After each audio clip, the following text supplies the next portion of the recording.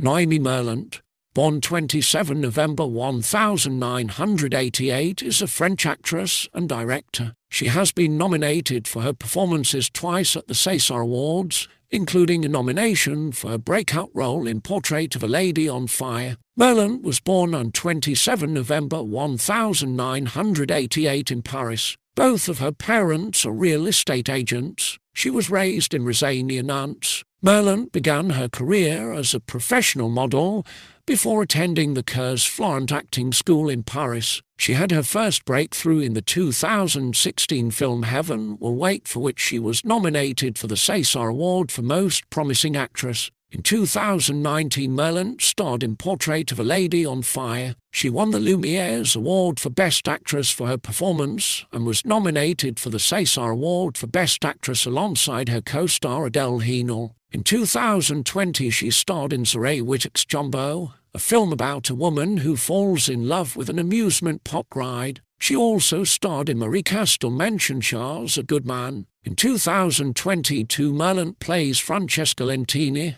a musician and personal assistant to the celebrated composer slash conductor Lydia Tár Cate Blanchett in the movie Tár, directed by Todd Field. Merlant has directed two short films, the 2017 film Je suis une biche and the 2019 film Shakira. In 2021 her she made her feature directorial debut with Mi iubita, Mon https slash slash www.imdb.com